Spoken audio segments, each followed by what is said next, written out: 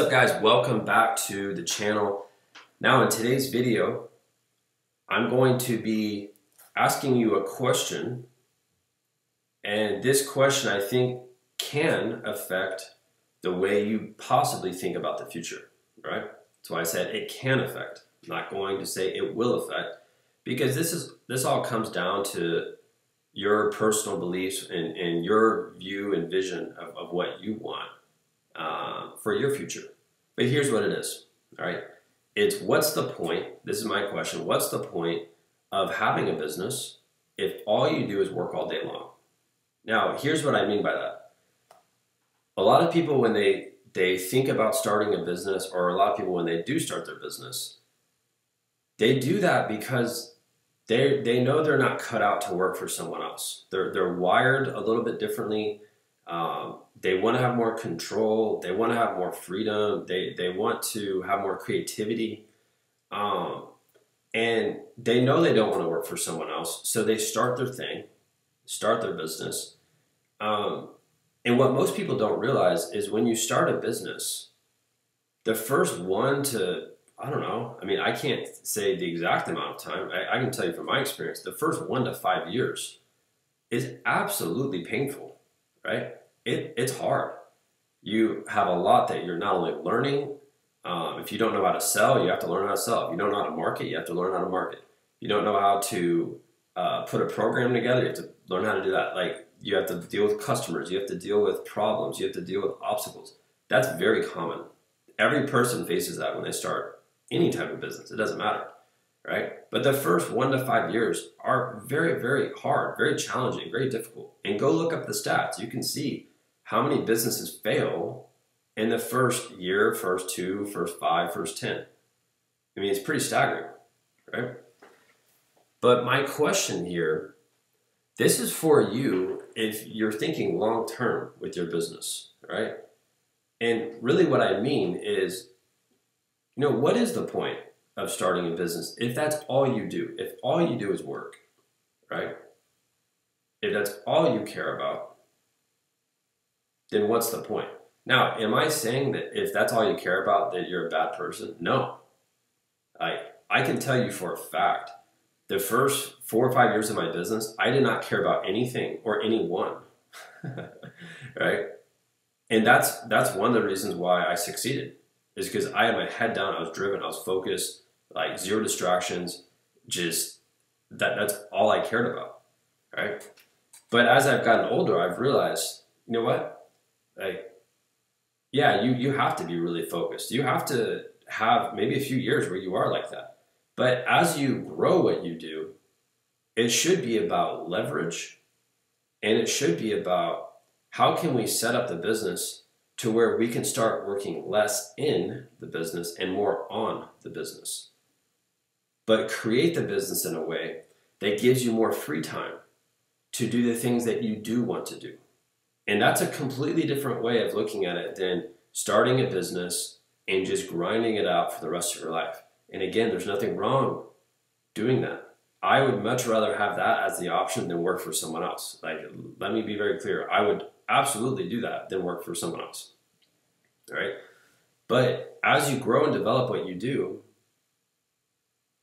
you want to try to think in terms of how can I set up systems so I can leverage my time so I'm not having to be in the day to day, you know, busy work that I used to have to do. And when you think that way, now you start to build more leverage within your business. And I feel like the only way you can build leverage in your business is by you having more experience. The more experience you have, the easier it is to figure out what those things are. The less experience you have, well, it's going to be very difficult to, to have leverage when you don't have any clients, right?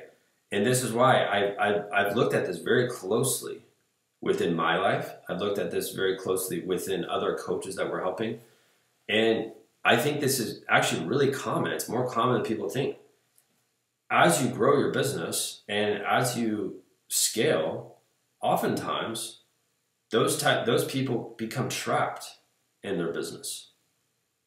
And once they get trapped, they're probably working more hours. Yeah, they might be making more money, but it's not going to feel as fulfilling at that point because all they're doing is spending all their time working. All right? So, my challenge to you very simple. Okay. I want you to be able to look at what you're doing with your business and think, okay, how can I set this up to where this will be better leveraged in the future to where I can spend more time on the important activities that drive my business versus working in the business all the time. Let me give you some examples of what this can look like. This way, I'm not just talking theory here. I'm, I'm going to give you some actual examples. So, one example would be if you are a, a coach who does a lot of in person training and you have built up a good reputation, you have experience, you've gotten great results. A, a, a good opportunity for you would be well, could you hire another coach? Could you bring another coach on who can start to take over some of the training that you're doing? Right? Could that happen? Yes. Is anyone going to stop you from doing that? Nope. Right? So you can absolutely do that.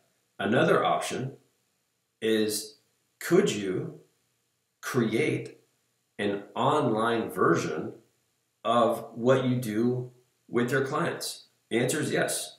I've proven that to be true. You can go look it up. Uh, OnlineSoccerSkills.com. I still have products that sell every month. I've created a lot of different products there. Um, I just ran a July 4th promo and that did really well. like while I was outside with my wife on a walk, we were gone for like two or three hours. I came home, I checked my email. There was many sales of a $200 product. Can that happen for you? Yes. Are you going to have to figure it out and learn how to do it? Yeah. Right? But those things are possible. So I'm talking about while you're not working, how are you generating revenue? Right? While you're going on a walk or while you're going on a hike, how can you set something up? How can you set up a mechanism that it can work without you? Right? And that, in my, it just in the way my brain thinks, that's how you're going to be able to create more freedom from your day to day busy work type of business or your in person training. Bring someone on or try to go online, right? And I want to tell you that not only to encourage you to start thinking in terms of, of building that, but I'm telling that because there's a lot more to like life than just working in or on your business all day long. And again, that's a personal choice that you get to make. I'm not going to tell you that you should spend more time with your family. I'm not going to tell you that you should spend more time with your kids. That's on you, right? What I'm here to say is like I I've been consciously thinking of this over the past year with how I operate what I do. And the only way to make tweaks and make changes with what you're doing is by taking a step back and actually looking at what you're doing and seeing, well, how many hours am I working? like how do I want to design this to where I can build my business right around my lifestyle right and that's why for me there's going to be many changes that I'm making over the next 6 to 18 months with what I do personally. Many changes. I know one of those things is I, am not going to have social media period. Like I'm not going to be responsible for replying to anyone on social media period. Um, there's certain things within the business that are going to change. And that's because I've taken a deep look at, well, what are the things that take me time that I shouldn't be doing, that I don't need to be doing, that either someone else could be doing or it shouldn't be done at all? And how could I create a little system there so I can go spend more free time doing whatever with my wife or going out of town or just doing whatever things that don't have anything to do with work. All right. And that's why I wanted to share this video. And I know I'm, I'm, talking about a lot of different stuff here, but that question of what's the point of starting a business if all you do is work, that really, that's hit a lot of people that I'm helping right now because they are starting to see as their business gets better, sometimes they, they get trapped in their job and that's all they have time to do. And I really challenge you to think in think in terms of how can we set this up in a way where it's more leveraged. That's it for today's video. If you want to hear more videos or see more videos like this, uh, make sure just hit that subscribe button. Uh, it's been really cool. We, have I feel like in the last couple months we've been able to grow here on YouTube quite a bit. Um, and I'm the type of person I don't care if we have a lot of subscribers. I care if you're watching these videos and these actually help you and you take action. That's all. I, that's the reason why I shoot these videos. Is I actually want you to take the information from someone who has a lot of experience and implement that because these these are things that I wish I had when I was a lot younger when I started my business. All right. So hit that subscribe button. If you have any questions, shoot me a text at 210 960 5771. That's it. I'll see you later.